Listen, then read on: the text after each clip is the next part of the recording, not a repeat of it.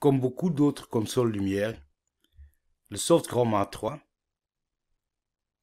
partie une programmeur. Le programmeur est la partie dans laquelle on fait des actions en live. Dans le programmeur, on peut sélectionner des machines. Si on sélectionne des machines, leurs Feature ID ou Channel ID sont indiqués en jaune.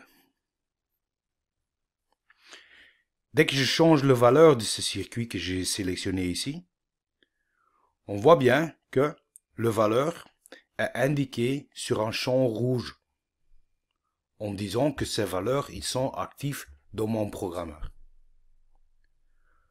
Le programmeur se vide en trois pas. Dans le premier pas, la première fois qu'on appuie sur Clear, qui est un bouton dur dans la section euh, console, la première fois qu'on appuie Clear, on vide la sélection. Ça veut dire que dès maintenant, on n'a plus de sélection de projecteur dans le programmeur. Je peux changer la valeur, mais dès que j'ai rien changé, il n'y a rien qui se passe. Quand on appuie Clear une deuxième fois, je désactive les valeurs dans le programmeur. Tant qu'ils sont encore envoyés, comme on voit ici dans le 3D et ici dans le Feature Sheet, ils sont plus actifs dans mon programmeur. Troisième fois que je fais clear, on va remettre toutes les valeurs à leur valeur de défaut.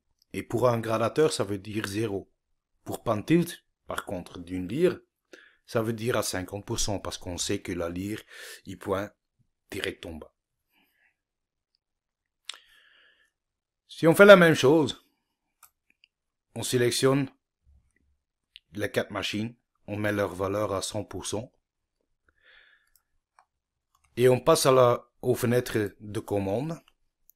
Si on appuie Store et on garde appuyé, on voit que par défaut, l'MI Store, il va enregistrer les valeurs qui sont actives dans mon programmeur. Ce que ça veut dire, si j'enregistre maintenant, je vois bien qu'il m'a bien enregistré du circuit 1 jusqu'à 4 à 100%. Si on fait une fois la même chose, on prend le circuit 1 jusqu'à 4, on met leur valeur à 100%, et on appuie Clear une fois. Ça veut dire que dès maintenant, on n'a plus de machines qui sont sélectionnées. Quand même, les quatre valeurs, ils sont encore actifs dans mon programmeur. Alors quand je vais enregistrer ces valeurs sur un exécuteur, je vois bien que j'ai en effet fait la même chose j'ai enregistré une intensité pour circuit 1 jusqu'à 4. Si on sélectionne de nouveau les 4 projecteurs, on met leur valeur à 100%,